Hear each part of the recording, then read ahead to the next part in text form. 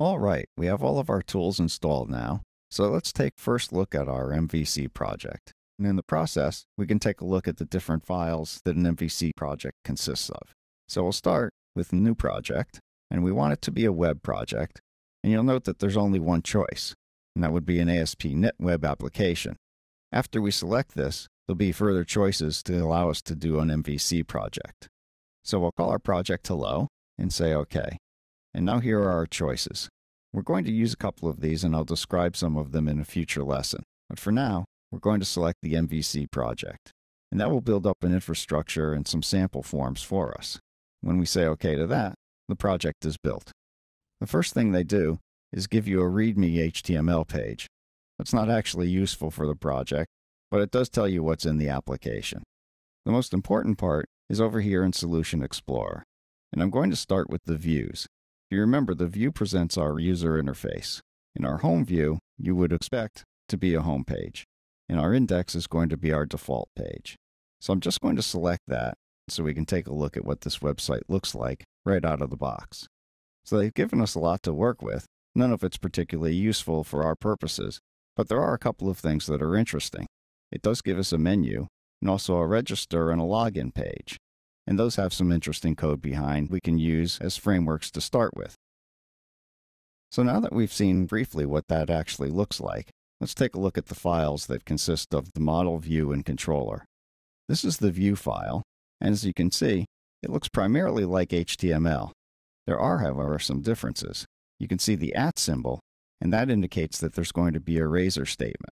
So this viewbag.title equal to homepage is a razor statement as opposed to HTML. Our controllers are in a separate folder, and naming convention is really important in MVC.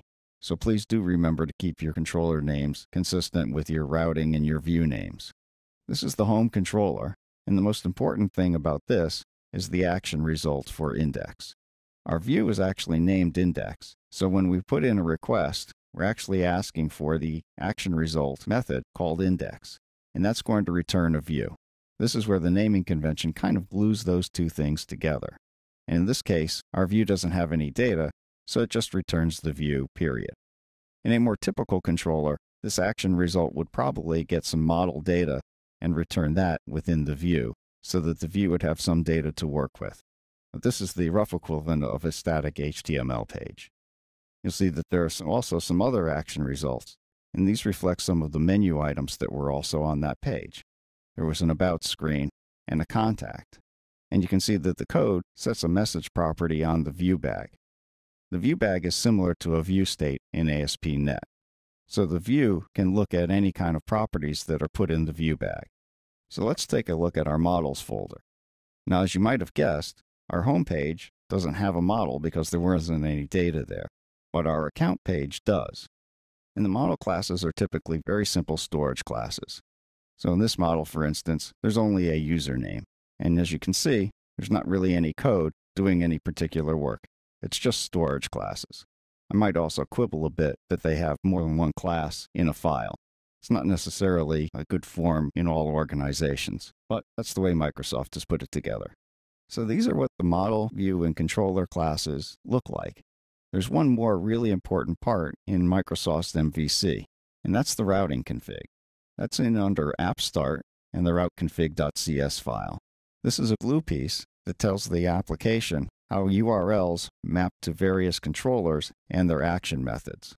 So in this case, our default route maps to a controller in action and passes in an ID parameter. That controller name is home and the action is index.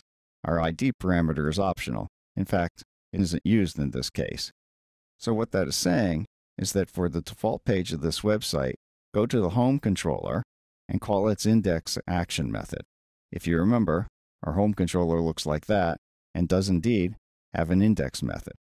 So, that routing is really important. It allows you to map URLs to controllers and to their action methods. So, that's a brief introduction to the environment. In the future, we'll be creating our own content in our own projects.